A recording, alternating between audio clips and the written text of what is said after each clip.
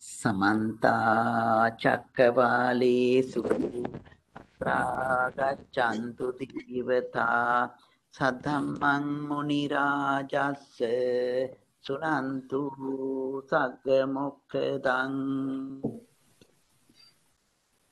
ධම්මස්සවන කාලෝ අයං බදන්තා ධම්මස්සවන කාලෝ අයං බදන්තා අස්සවන කාලෝ අයං බදන්තා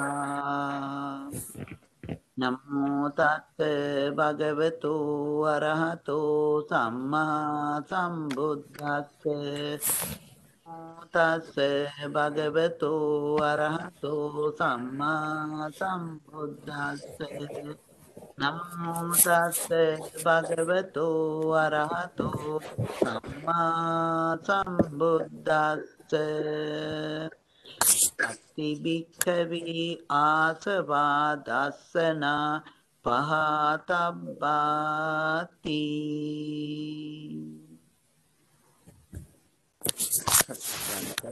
සත්පුරුෂ පින්නතුනි අපි හඳුනාගෙන අද සෙනසුරාදා දවසේ සදානම් වෙන්නේ සෙනසුරාදා දවසේ පවත්වන ඒ විශේෂ ධර්ම දේශනාවට ලැබුම්කන් දෙන්න. ඉතින් අද සෙනසුරාදා මේ ධර්ම දේශනාවේ දායකත්වය කරන්නේ අපේ සංකතෙන්න පොන් පුතා ඒ වගේම සමරත් ආදරණීය දරුවන් තුන් දෙනා ඇතුළු ඒ සෙදහැබර පින්නත් කල්පනා කරගන්නට මේ අවස්ථාවේදී ඒ සෙදහැබර පින්නතුන් අද මේ ධර්ම දේශනාවේ දායකත්වයේ දරන්නේ විශේෂයෙන් මීට දෙමාසකට පෙර ආතුවක් සම්බන්ධ අපි සමරංගනී දුවගේ ආදරණීය පියතුමාණන් ඉබී අධිකාරි මහත්මාණන් නෝදන් කරන්නට. ඒ ආදරණීය පියතුමාණන් අපින් සමුවරගෙන තුන් මාසයක් ගත වෙනවා එතෙමසක් ගත වෙන මේ මොහොතේදී එතුමාණන් සිහිපත් කරලා අපි පොඩි අනුමෝදනා කරනවා. සුජීවත්ව වාසය කරන මව්වරු දෙපළ ඇතුළු එමේ දියණිවරු තුන්පොළ ඇතුළු හැම දිනාටමත් ආශිර්වාද කරමින් පවිත්‍රෝගීන් පිළින සියලු දෙනාටමත් නිදුක් බව නිරෝගී බව ප්‍රාර්ථනා කරගෙන අපි හැම දිනාටමත් මේ භයංකාර සසර දුකෙන් අත මිදීම හේතු වාසනා වේවා කියන මේ ප්‍රාර්ථනාවෙන් යුක්තවමයි අද අපි මේ ධර්ම ශ්‍රවණය කරනු ලබන්නේ. ඉතින් ඒ වගේම අපි හැම දිනාටම මේ උතුම් වූ ධර්ම ශ්‍රවණය මේ භයංකාර සංසාර දුකින් අත මිදීම පිණිසම හේතු වාසනා වේවා කියන මේ ප්‍රාර්ථනය අපේ හදවත් තුළ තිබෙනවා. ඉතින් කල්පනා කරගන්න. අද අපි ධර්ම දේශනාවට මාතෘකා කරගත්තේ අපිට බොහොම වැදගත් වෙන සූත්‍රයක සූත්‍ර පාඨයක් අපි කවුරුත් දන්නවා නිතර මනහලා තියෙන සූත්‍රයක් එය සූත්‍රයේ නම හඳුන්වන්නේ සම්භාසව සූත්‍රය. අහනකොටම මතක් වෙන්න ඕනේ සම්භාසව සූත්‍රය. ඉතින් අද දවසේ ඊන් කරුණු ටිකක් විස්තර කරන්න අවශ්‍යයි කියන සිටිවිල්ල පැමිණුන නිසාම මේ සබ්බාසව සූත්‍රය ගැන අපි සාකච්ඡා කරන්න සූදානම් වෙන්නේ. සබ්බාසව සූත්‍රයේ තියෙන්නේ මජ්ක්‍ධිම නිකායේ. මජ්ක්‍ධිම නිකායේ මූල පණ්ණාසකේ මූල පරියාය වග්ගයේ දෙවනි සූත්‍රය. කියන්නේ මජ්ක්‍ධිම නිකායේ දෙවනියට තියෙන සූත්‍රය තමයි සබ්බාසව සූත්‍රය කියලා කියන්නේ. ඉතින් බොහොම වැදගත් සූත්‍රයක්.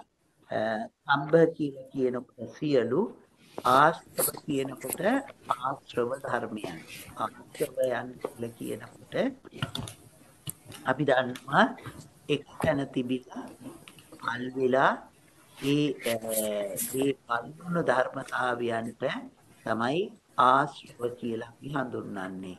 ඉතින් අන්න ආශ්‍රව ධර්මයන් නැති කරන හැටි පිළිබඳව විස්තර කරන සූත්‍රයක් තමයි සබ්බාසව සූත්‍රය කියන්නේ. ඒ කියන්නේ සියලුම ආශ්‍රව ධර්මයන් ඡේ කරන හැටි. ඉතින් ආශ්‍රව ධර්මතාවයන් සූත්‍ර පිටකයේ හැටියට තුනක් වෙනවා. අපට හොඳට මතකයි කාමාශ්‍රව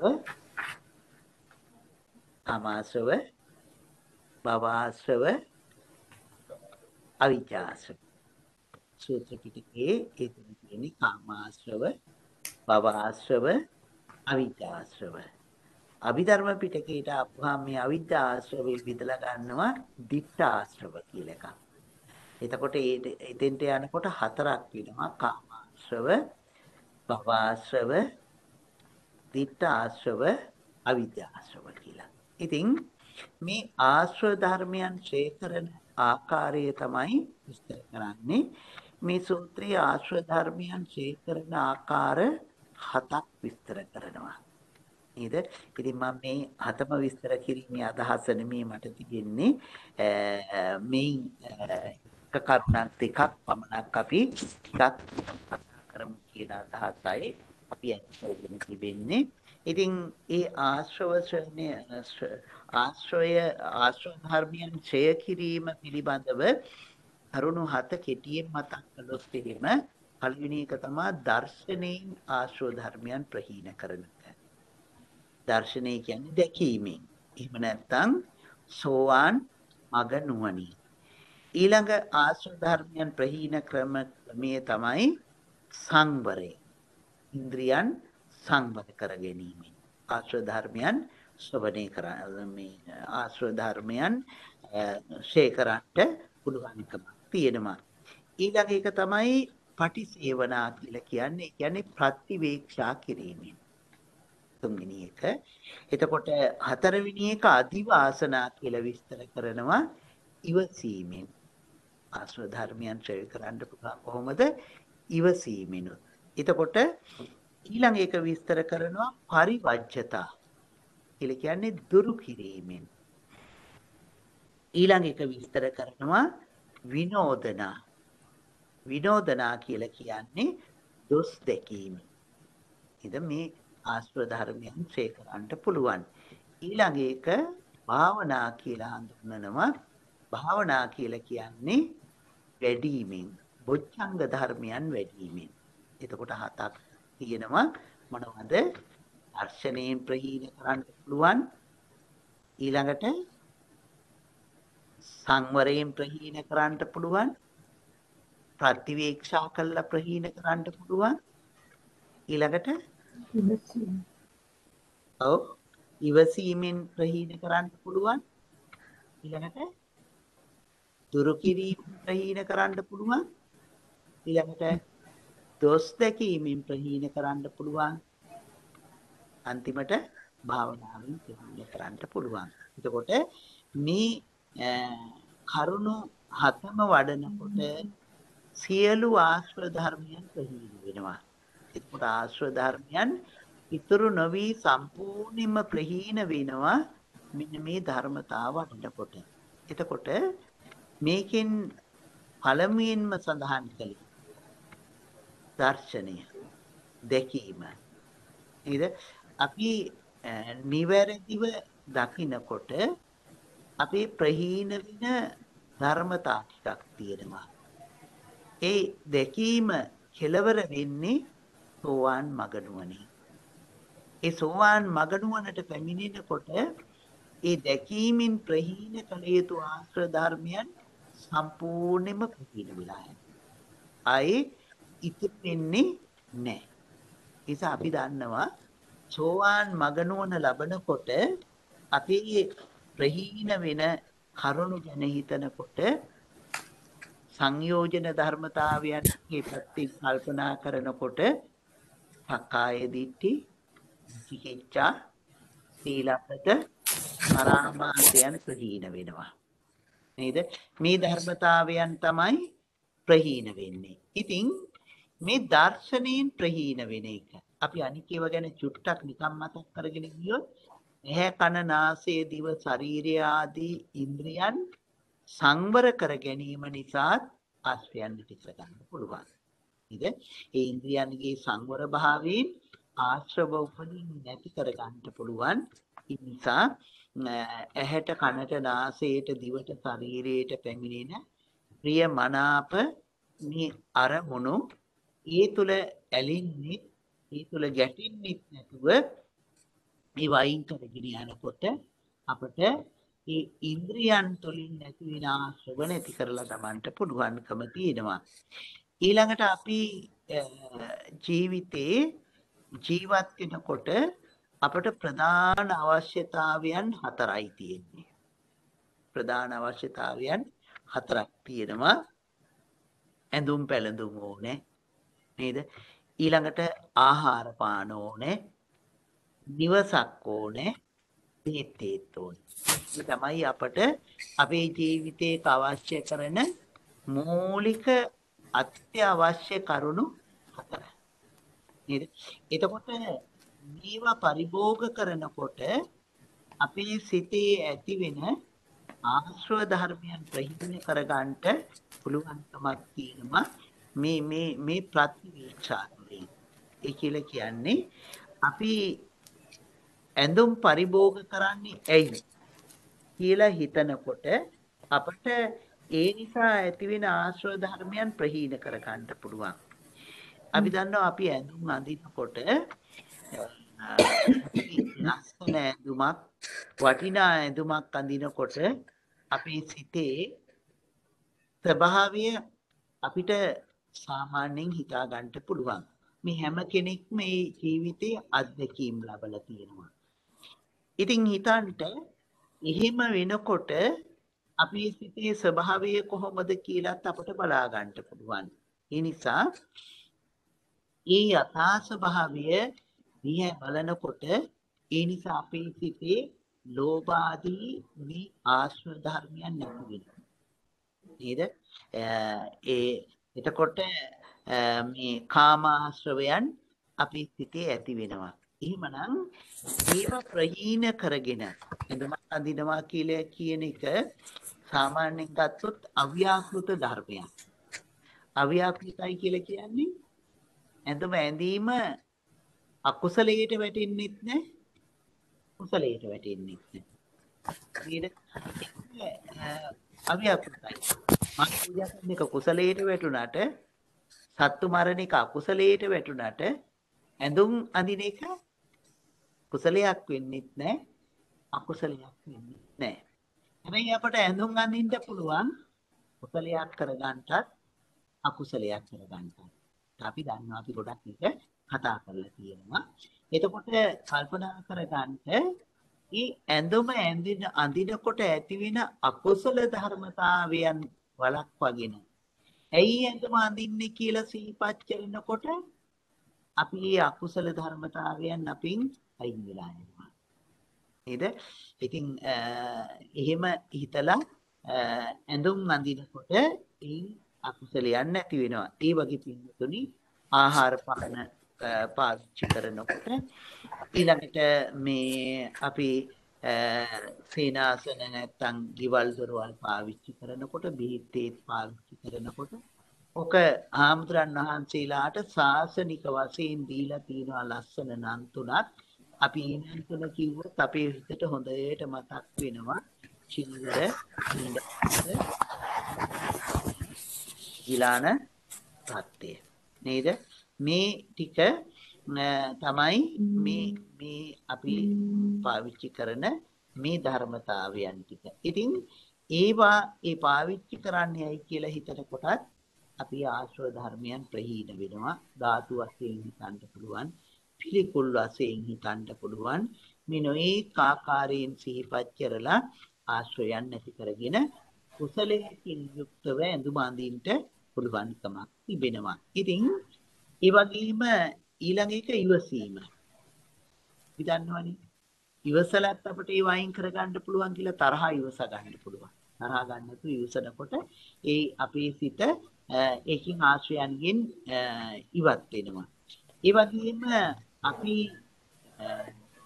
ඇසුරු නොකළ යුතු පුද්ගලයන් ඇසුරු නොකළ යුතු තැන් ඒවා දුරු කරලා දමනවා නම් ඒත් ආශ්‍රව නැති වෙනවා. ඒ වගේම අපට පැමිණෙන අකුසල චේතනාවන් සමහර අකුසල චේතනාවන් අපිව යටපත් කරගෙන යනවා. හිතේ ඇති වෙනහම අකුසල චේතනාව ඒක ක්‍රියාත්මක කරනවා. අපි කියන්නේ වීතික්කම වෙනවා කියලානේ. මේක ධර්මානුකූලවම ඒ කියන්නේ ක්‍රියාත්මක වෙනවා. එක්කෝ බනිනවා, එක්ක ගහනවා, තරහ පැත්තෙන් එනකොට, ලෝභයේ පැත්තෙන් එනකොට ඇලිනවා. එතකොට මෙන්න මේ වයින් මේ මේවායට යන්න නොදී ඒ අකුසල ධර්මතාවයන්ගේ දොස් දකින කොටත් එතනින් අකුසලයෙන් මිදෙන්න පුළුවන්කමක් තියෙනවා. ඒ ආශ්‍රව ප්‍රහීන වෙනවා. ඒ වගේම සති ධම්මවිචය ආදී බොජ්ජංග ධර්ම වැඩිමිනොත් අපිට මේ දේ සිද්ධ වෙනවා. ඉතින් දැන් මම මේ කෙටියෙන් මේ ටික මතක් කළේ මට මේ දර්ශනයේ පිළිබඳව චුට්ටක් කතා කරන්න ඕනේ නිසා. දර්ශනය කියලා කියනකොට අපි මතක් කළේ දැකීමෙන්. නේද? දැන් හිතන්න අපි අපි ගැන දැකීමෙන් දැකීමෙන් ඇති කරගන්න පුළුවන් ආශ්‍රව කියලා කිව්වේ සක්කාය දිට්ඨි, විචිකිච්ඡා, සීලබ්බත, පරාමාස. මොකද සක්කාය දිට්ඨිය කියලා කියන්නේ? නේද?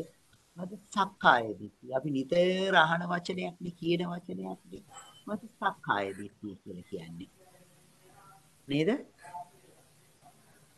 ඔව්.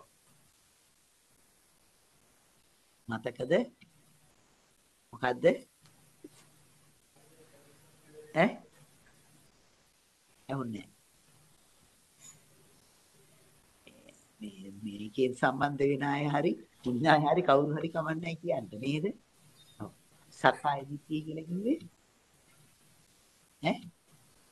සැක සැකය හම්බුනේ සක්කාය දිට්ඨිය.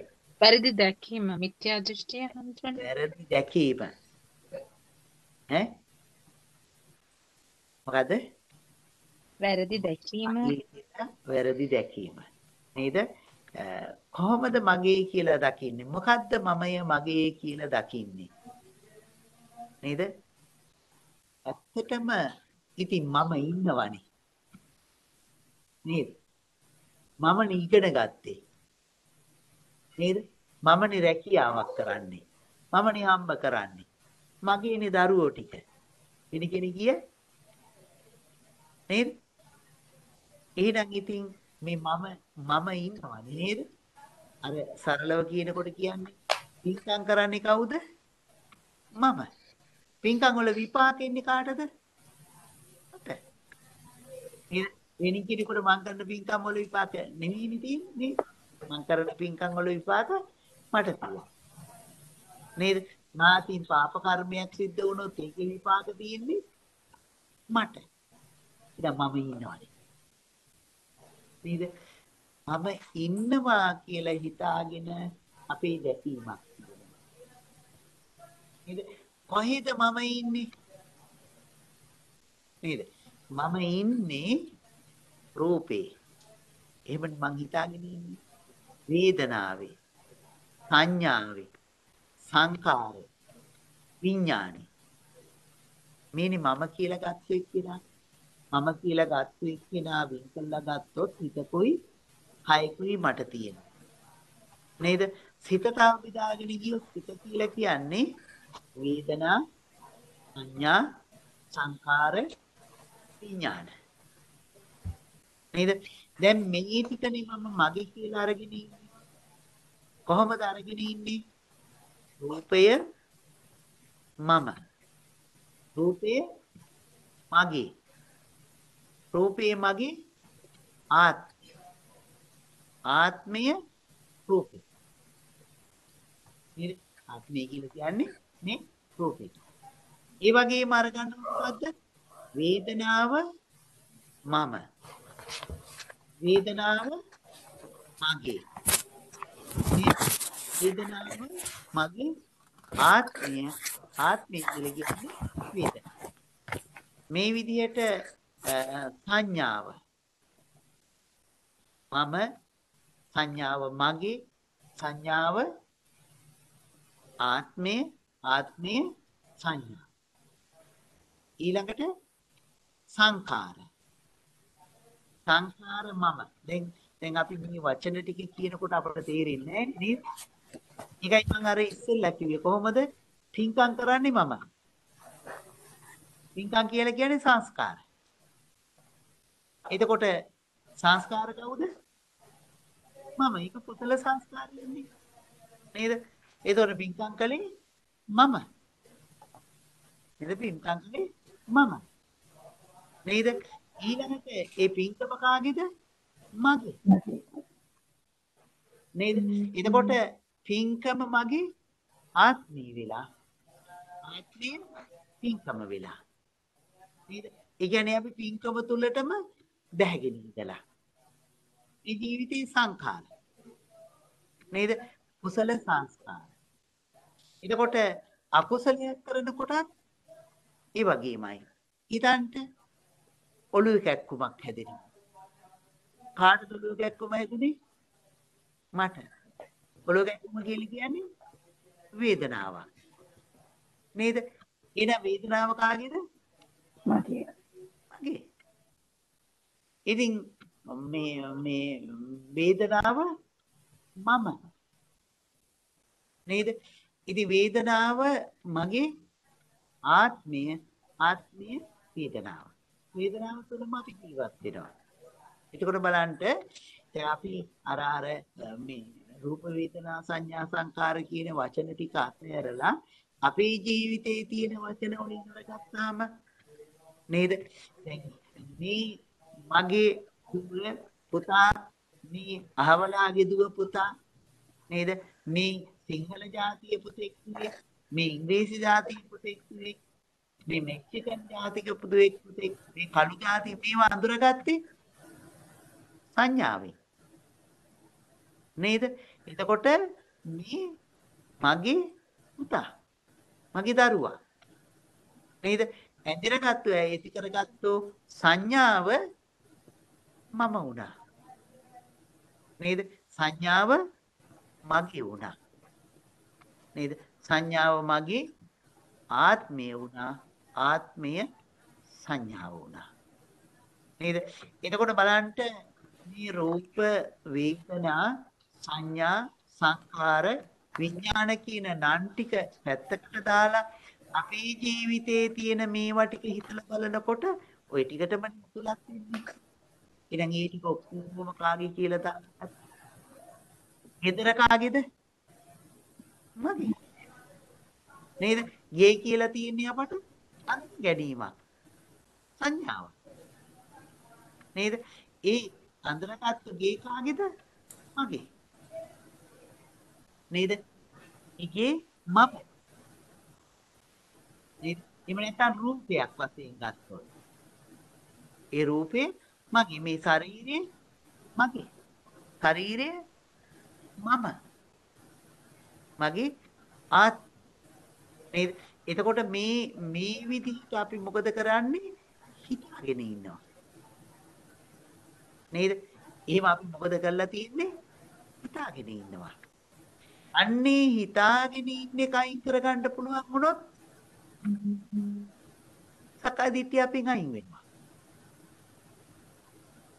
නේද? මම කියලා අල්ලගත්තු හිතාගෙන ඉන්න සිතවිල්ල ඒක අයින් කරගන්න පුළුවන් වුණොත් හරියි. අයින් කරගන්න එක හරි අමාරු වැඩක් නේද? දැන් අයින් කරගන්න මොකද කරගන්න ඕනේ? ඒකම දකින්න ඕනේ. නේද? ඒකම අපි හරියටම දකින්න ඕනේ.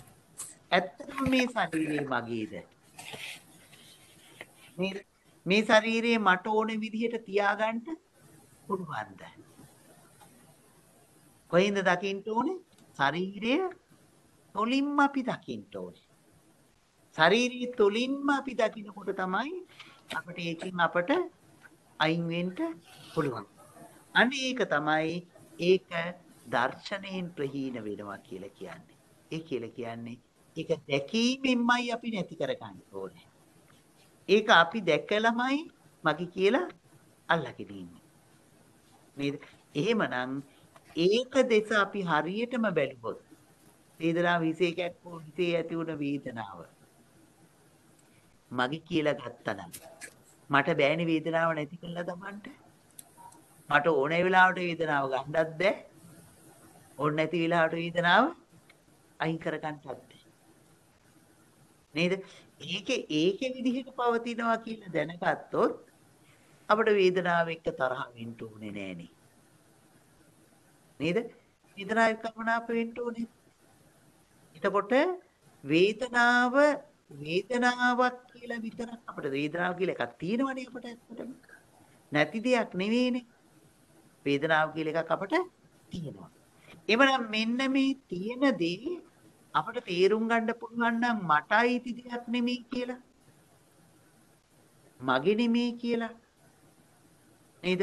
අන්න ඒ තුලදී අපට ඇති කර අයින් කර ගන්න පුළුවන් මොකද්ද? මේ සක්කාය දිට්ඨිය. සක්කාය දිට්ඨිය. එතකොට අපි ඉතින් සක්කාය දිට්ඨිය ඔහොම කියනකොට කියනවනේ සක්කාය දිට්ඨිය 20 ආකාරයි කියලා. අර පංචස්කන්ධයේ ස්කන්ධ පහට කොහොමද ගණන් කරන්නේ මමය මාගේ මගේ ආත්මය ආත්මය මගේ. එතකොට එකකට හතර ගාණි ගත්තොත් ආකාර එද 20 ආකාර සක්කාය දිට්ඨිය කියලා අපි කියනවා. ඒ කියලා කියන්නේ 20 ආකාරයකට අපි මේක මගේ කරගෙන ඉන්නවා. නේද? එහෙමනම් අන්න ඒක දෙස නිවැරදිව බලාගෙන යනකොට ඒකි ස්වභාවය අවබෝධ කරගන්නකොට අන්න එතකොට අපට පුළුවන් මොකද්ද මේ දැකීම තුලින් සක්කාය දිට්ඨිය නැති කරගන්න. කොහොමද ඒක කරගන්නේ අපි? අපි ඒකත් කතා කරමු. ඊළඟට සක්කාය දිට්ඨිය තව නැති වෙන්නේ මොකද්ද? ඊක්තාව. ඒක කියන්නේ සැකය. දන්නවනේ සැකේ කියනකොට සැකේ විස්තර කරන්නේ දාදී අට තැන්නි සැකය. ලෝතර බුදුරජාණන් වහන්සේ පිළිබඳව සැක කරනවා. සද්ධර්මයේ කෙරෙහි සැක කරනවා. හා සංඝරත්නයේ කෙරෙහි සැක කරනවා. ඊළඟට නෑ. ඊළඟට පෙර ආත්මය ගැන සැක කරනවා පසු ආත්මය ගැන සැක කරනවා පෙර පසු ආත්ම පිළිබඳව සැක කරනවා. අපට මගේ ඇති. නේද? සීලාදී ගුණධම්මි විපාක පිළිබඳව සැක කරනවා. අන්තිමේක හේතුඵල ධර්මයන් පටිච්ච සමුපාද ධර්මයන් පිළිබඳව අපි සැක කරනවා. නේද? මෙන්න මේ සැකයත් නේද? සැක සැකේ දුරු කරගන්න පුළුවන් අපි ඒක හරියට දැක්කම නේද? බුදුහාමුදුරන් වහන්සේ වැඩ හිටියද? බුදුරජාණන් වහන්සේ ඒ වගේ ගුණවත් කෙනෙක්ද? නේද? මේවා පිළිබඳවනේ අපිට සැක හිතෙන්නේ. නේද? ඔය බුදුහාමුදුරන් වහන්සේ මේ ධර්මයක් දේශනා කළාද? ඒක ඉතින් බුදුහාමුදුරන් වහන්සේ අද අපට දකින්න නෑනේ. බුදුරජාණන් වහන්සේ දකින්න පුළුවන් ක්‍රමයේ දේශනා කළේ කොහොමද? යෝ ධම්මං පස්සති සෝමං පස්සති. යම් කෙනෙක් ධර්මයේ දකිනවා නම් ඒ තැනත්තා බුදුරජාණන් වහන්සේ දකිනවා. නේද? එහෙමනම් මෙන්න මේ මේ ධර්මයේ තුල යනකොට අපි මුලින් මතක් කළා වගේ මේ මේ මේ ධර්මයේ ඒහි පක්ෂික ගුණය. ආදී මේ ගුණයන් පිළිබඳව අපට දකිනකොට අපට ධර්මයේ පිළිබඳව සැක නැති වෙනවා වගේම ඒ ධර්මයේ දේශනා කරපු බුදුරජාණන් වහන්සේ පිළිබඳවත් සැක නැති වෙනවා. නේද? ධර්මයේ අනුගමනය කරනකොට අපට ඒ ධර්මයෙන් යම් සැනසෙල්ලක් දකින්න පුළුවන් නම් ආනයක් දකින්න පුළුවන් නම් සාහනයක් අපට ලැබෙනවා නම් අපි දන්නවනේ මේ සහනය ලබාගත්තු පිරිසක් හිටියා කියලා. මම විතරක් නෙමෙයි මේ ධර්මයේ ලබාගත්තු පිරිසක් හිටියා. ඒ පිරිස තමයි කවුද? මහා සංඝරත්නය. නේද?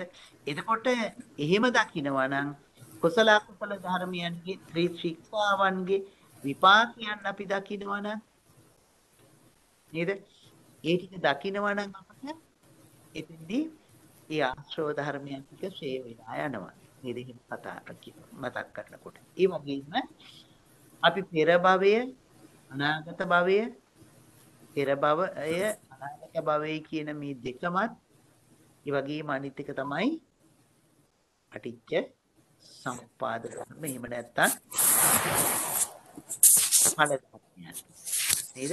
හේතුඵල ධර්මයන් පිළිබඳ. එහෙනම් මෙන්න මේ මේ විචිකිච්ඡාව, සක්කාය දිට්ඨි විචිකිච්ඡා.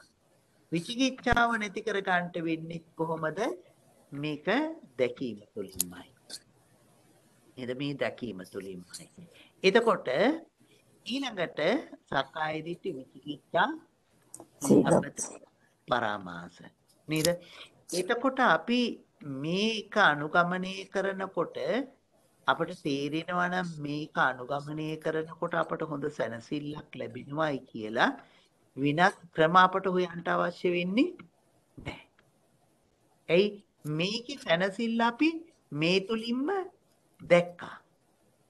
නේද? මේකේ සැනසෙල්ල අපි මේ තුලින්ම දැක්කා. එහෙම දකිනකොට අපට විනත් මකක් හොයන්න වෙන්නේ. ඒ නිසා මොකද්ද?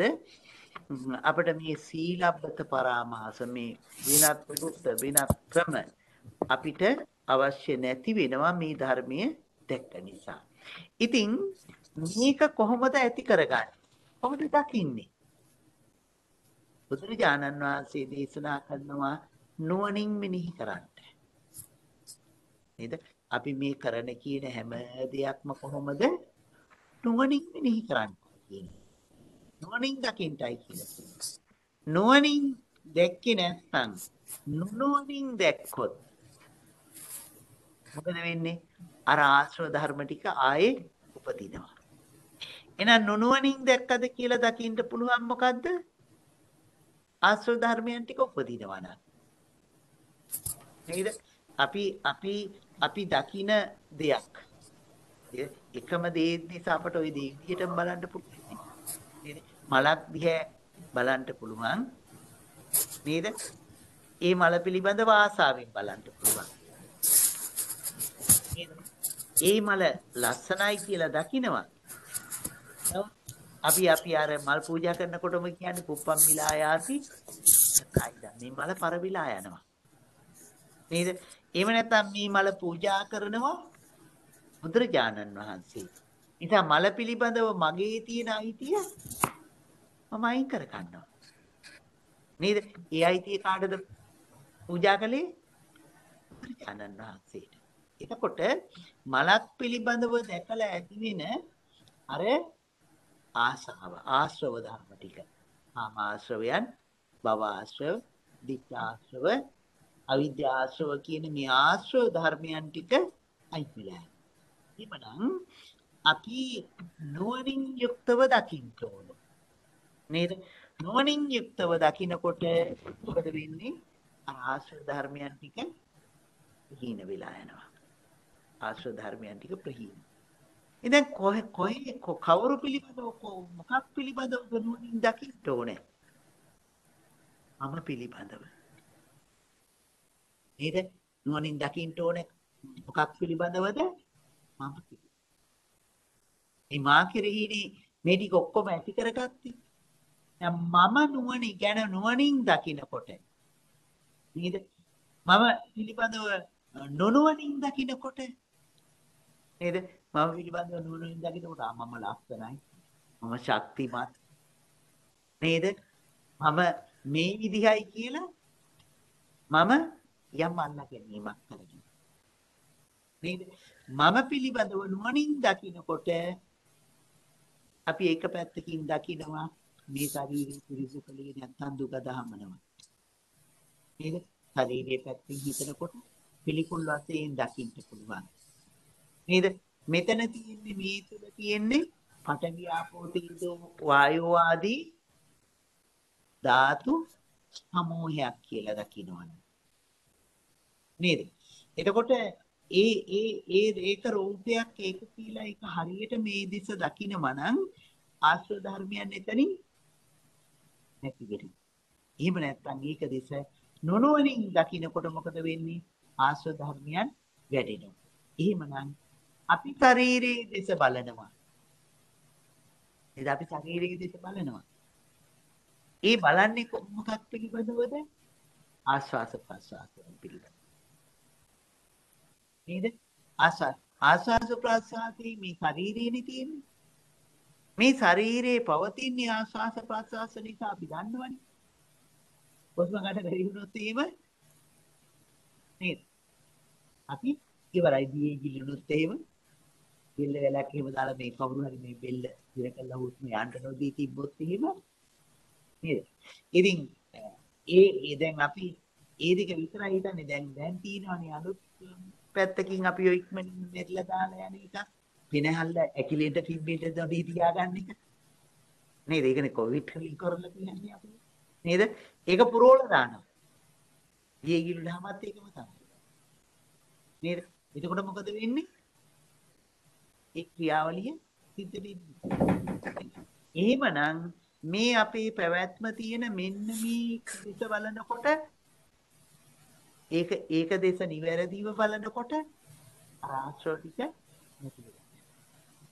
ඊළඟට හිතන්න මේ ශරීරයේ කෙස්ලොම් නියදත් ඇටමස් නහර ලේසෙම් සොටු කබ කඳුළු ආදීන් හැදිලා තියෙන එකක් කියලා දකිනකොට අපි එහෙම නැතුව කියනවා නම් අපි අනිත් පැත්තෙන් කියනවා නම් මේ පිළිකුල් භාවනාව කේසාලෝමානකා දන්තා කියලා දකින්න කොටත් අර එහෙම ආශ්‍රමය තියෙන්නේ. එහෙම නැතුව හිතන්නකෝ ඔළුව පීරනකොට අපි කණ්ණාඩි ඉස්සරහට ගිහිල්ලා නේද? කොච්චර ආශ්‍රම උපදින්න ඇද්ද? ඒ දැක්කේ මොකද්ද? කෙස් ටිකමයි. නේද? කණ්ණාඩියට ඉස්සරහට ගිහිල්ලා ඔළුව පීරනකොට දැකපු කෙස් ටික නිසා අපේ හිතේ මොකක්ද ඇති උනේ? ආශ්‍රව. එහෙනම් එතන දැක්කේ කොහොමද? එනින්ද? නෑ. කණ්ණාඩි ඉස්සරහට ගිහිල්ලා කෙස් ටික දකින්නකොට කෙස් පීරනකොට මම මේ කෙස් ටික පීරන්නේ.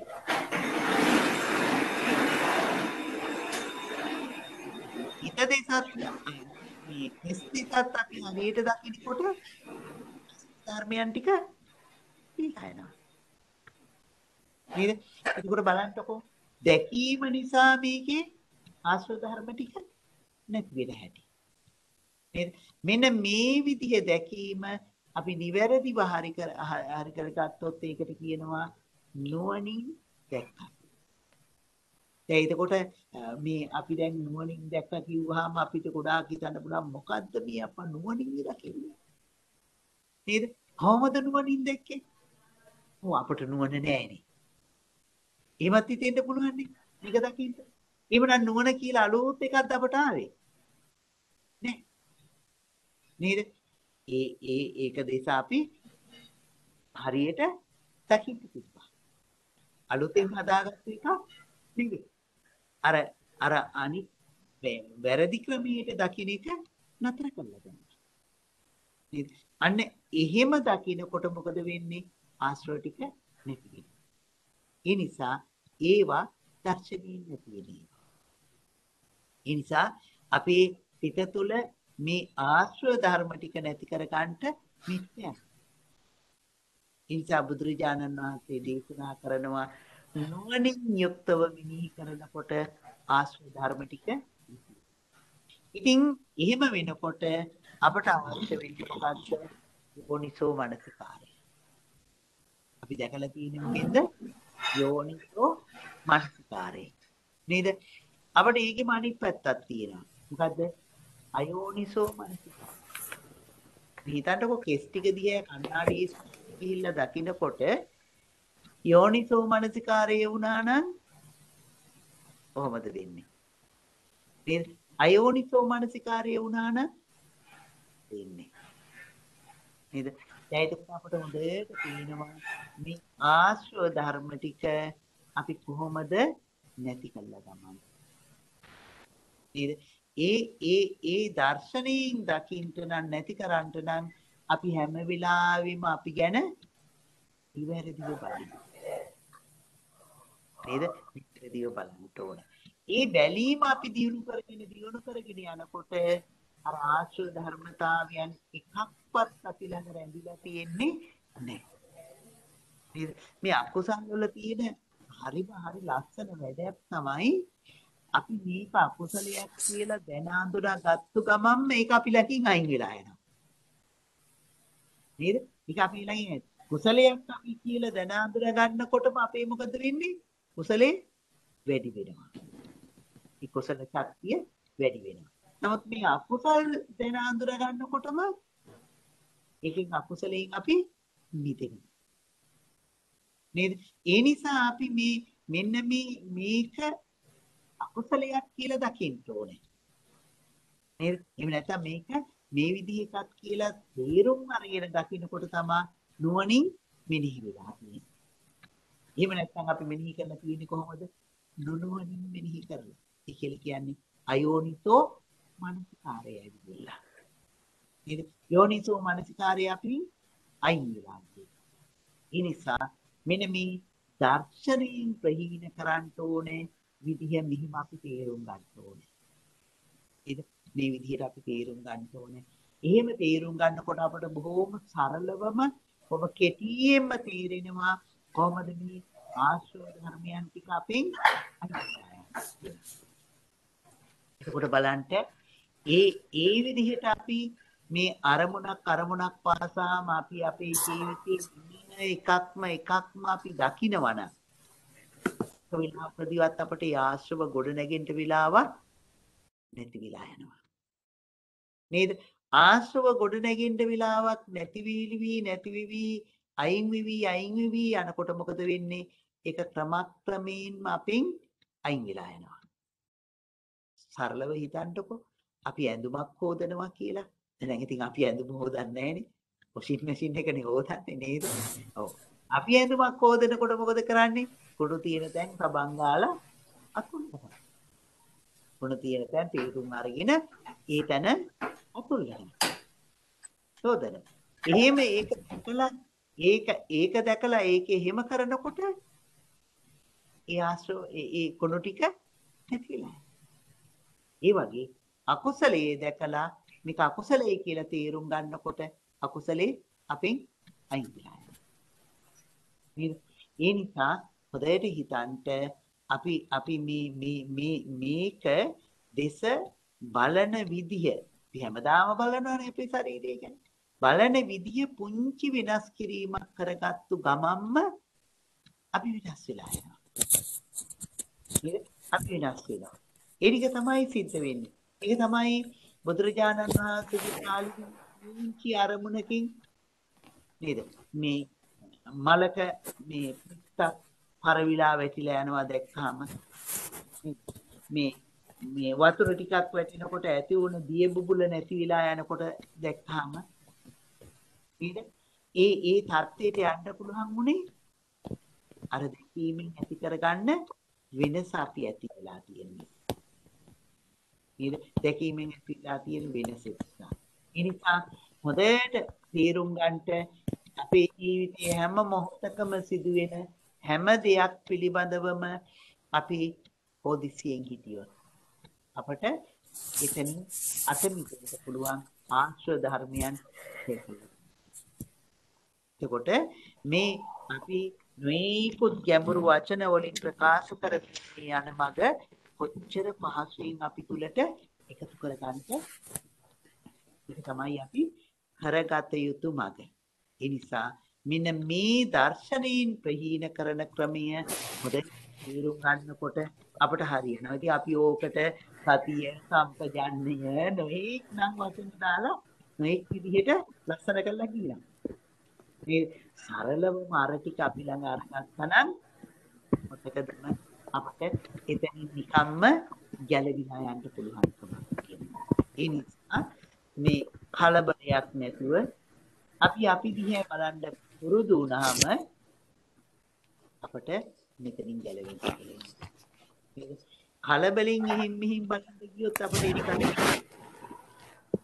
සංසුන්ව දකින්නකොට මේකේ අපි නොදන්න ගැඹුරකට අපි නේද? ඉස්සෙල්ලා මේ ආශ්‍රව ටික නැති වෙනවා වගේම ඒ ඒ කියන්නේ ඉස්සෙල්ලාම අකුසලේ නැති වෙනවා වගේම අපි ඒ තුළදී අපි දකිනවා එතකොට මෙතන මේ අරමුණ තියෙනවා අපේ හිත තියෙනවා. අරමුණක් තියෙනවා හිත තියෙනවා. අරමුණ ඇතිවෙන්න හේතුවක් තිබුණා. ඒ අරමුණ ඇති වෙන හේතුව නැති වුණ ගමන් මොකද වුනේ? අරමුණ නැති වුණා. නේද? මේක තමයි.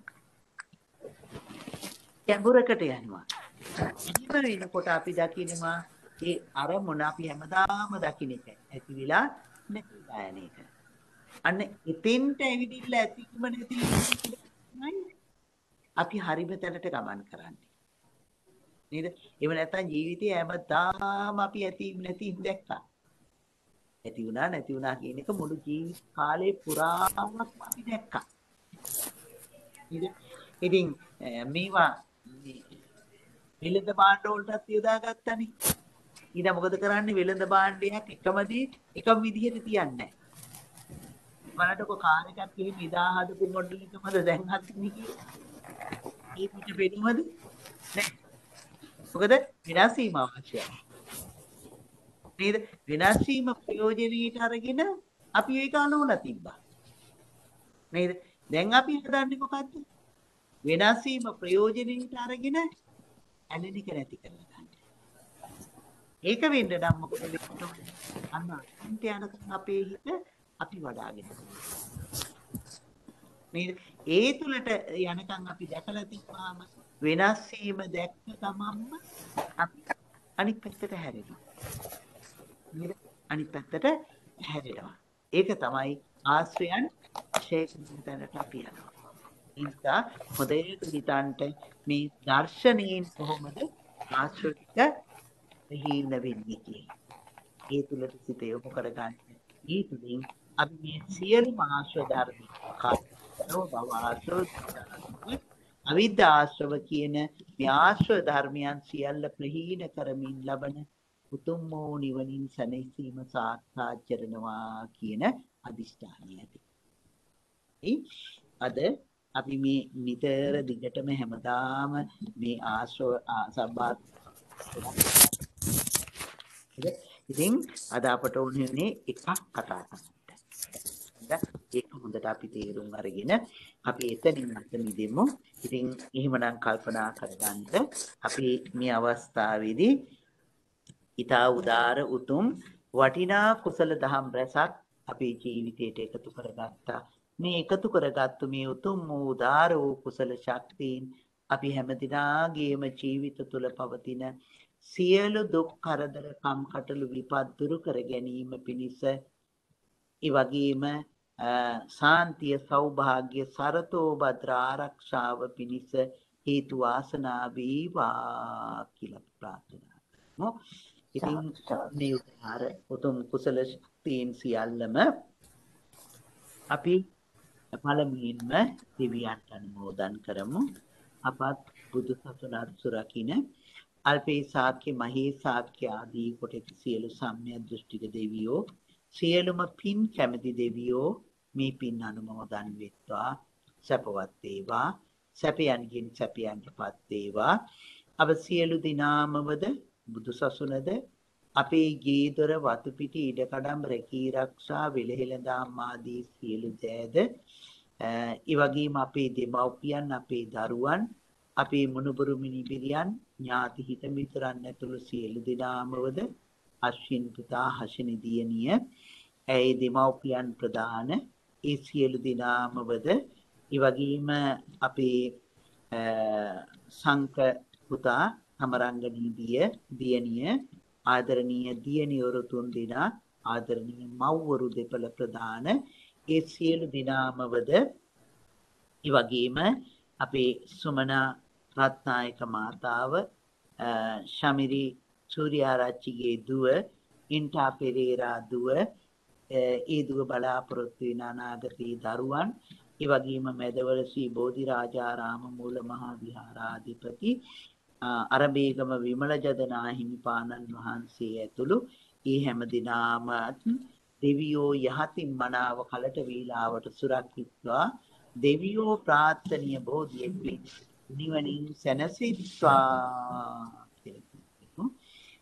ආකාසට්ටා ච රාජකුමාරතා දේවානාගා මහිත්‍තිකා පුඤ්ඤන්තං